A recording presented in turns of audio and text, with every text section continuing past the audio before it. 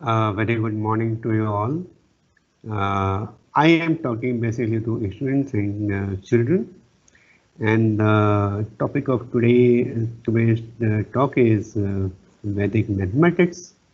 Uh, I have read a book by Tirthaji Maharaj on Vedic mathematics, and I found that the mathematics is very logical and very interesting. And the main thing what is propounded by uh, such mathematics is that uh, different uh, difficult calculations of multiplication or division are simplified in terms of uh, addition and subtraction and that becomes a rule for making uh, calculations easier.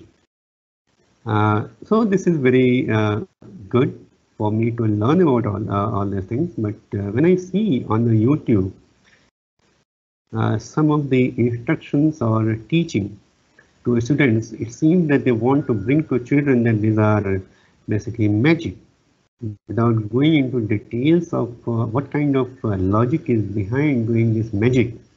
Uh, the students are basically overwhelmed by teachers and uh, but uh, not knowing why it is happening. So though they come to know about all these things later uh, later in life or when they go to higher classes but it's good to know at the very beginning itself in uh, in uh, schooling uh, to have the logic in mind. Okay? So what I thought of I will uh, take uh, some examples from uh, Vedic mathematics, basically, and very uh, simple examples of multiplication and show that the rules what we make for easy calculation, they have a logic. So uh, I have thought that I will uh, show it to you using PowerPoint presentation, and this goes like this. For example, just say uh, how Vedic mathematics works, a simple example, uh, but uh, it also gives how Vedic mathematics evolved. So let us see if we want to multiply a single digit number x by 9. So how we can write? We can also write it by x multiplied by 10 minus 1. Uh, we can write 10x minus 1. Then we can write 10x minus x. Uh, we can add 10 and subtract 10 and then rearrange the whole uh, all the terms in such a fashion that we get this expression. So now x is a single digit number. So x minus 1, you say this is a single digit number. And when this is multiplied by 10, so single digit with one extra zero at uh, one's position we get. Okay. Now if we add something 10 minus x on that, then what we get 10 minus x. x is a single digit number, so 10 minus x is going to be a single digit. So if we add this uh, number to this number, whole number, so at the place of 0, we get this number at one's place. So what the number becomes? The first digit becomes x minus 1 and the second digit becomes 10 minus x. Okay. So if we uh, go to examples, for example, uh, 1 into 9 equal to 1, suppose 1 is x, okay. So this x minus 1, it becomes 0, 10 minus x, okay, 10 minus 1 to 9. So 1 into 9 equal to 0, 9. Now 3 into 9. So x is 3, so x minus 1 becomes 2, 10 minus 3, 10 minus x actually becomes 7, so 27. Similarly, 5 into 9, 5 minus 1, 4, 10 minus 5, 5. Similarly, 7.7 into 9, 7 minus 1, 6, 10 minus 7, 3. Similarly, 9 to 9. So we can see that uh, this multiplication has been uh, transformed into something of uh, subtraction 1 and 2. Okay, so this is what is the simplification of calculation. Now, if you want to multiply a two-digit number with uh, 99, for example, so we have a digit, uh, a number xy where x has the tens position, y is the ones position, and we want to multiply it by 99, for example. So we can write it like this, uh, as uh, previously we did, and then we add uh, last time for single digit we did uh, 10, but now we are adding 10 and doing the same thing here. So you can see x, y, whatever number you get here multiplied by 100, that means uh, this number will be a two digit number with two zeros at hundreds and ones position ahead of this. Uh, at two zeros at tens and ones position. Now, uh, 100 minus xy, xy is a two digit number. So if you uh, uh subtract it from 100, then you are going to get a two digit number, uh, one digit number also, but with a zero. And then uh, this two digit number, all 0 to 9, then replacing these two numbers as two zeros in this number at ones and tens position. So uh, what would be number? First two digits will be xy minus 1.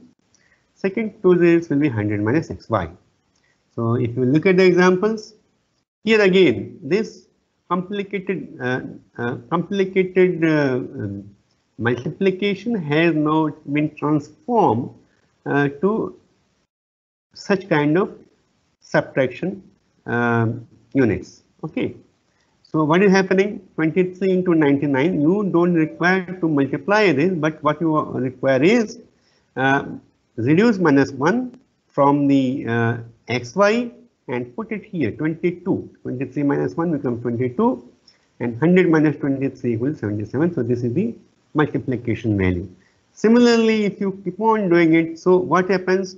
Any number you can choose and do the same thing and you are going to get the answer. So you don't need not multiply, you just do this simple tricks.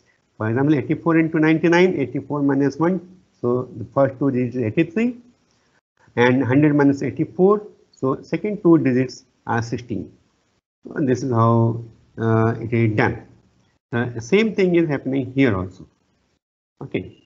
Now, uh, we talked about single digit multiplication, two digit multiplication. Now when we're talking about single digit with 99. So x is a single digit. Again, we can do the same thing.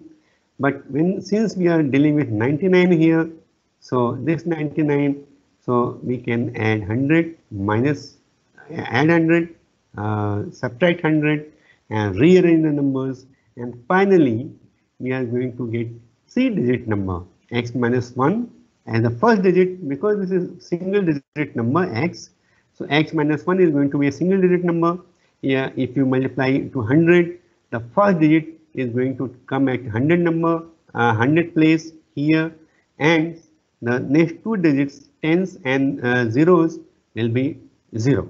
So if you add 100 minus x, x is a single digit number. If you uh, subtract x from 100, you are going to get two digit number.